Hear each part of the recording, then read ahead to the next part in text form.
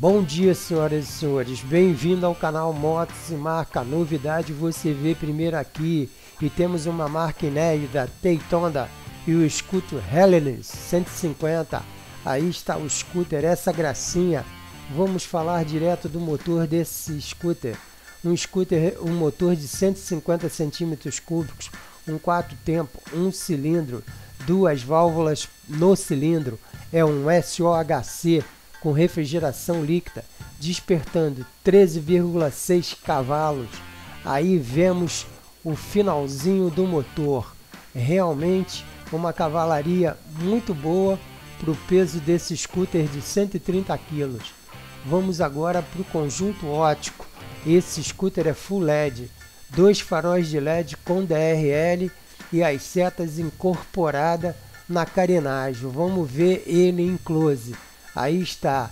E vemos na carenagem o nome Teitonda. Vamos agora para a iluminação traseira. Realmente uma lanterna bem grande mesmo.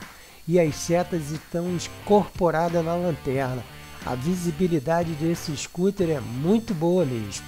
Agora vamos para o painel de LCD. Muito boa visibilidade e bem compatível com o scooter. Vamos agora para o interior do scooter. Vemos uma chave keyless, dois porta-treco e o grampo para colocar sacolas de compra. Vamos agora para outra imagem. O espaço de bagagem embaixo do banco. Cabe um capacete fechado e o acesso ao tanque de combustível é embaixo do banco. Vemos uma suspensão dianteira Seriane, rodas de liga leve de 12 polegadas e a traseira de 10 polegadas.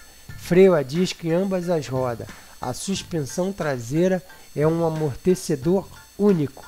Realmente esse scooter é muito bonito e realmente concorre de igual para igual com marcas mais famosas. Aí está a última imagem do scooter. Quem gostou, eu ah, vou fazer aqueles pedidinhos de sempre dá um like, deixa um comentário, se inscreve no canal e de coração. Obrigado por assistir os nossos vídeos.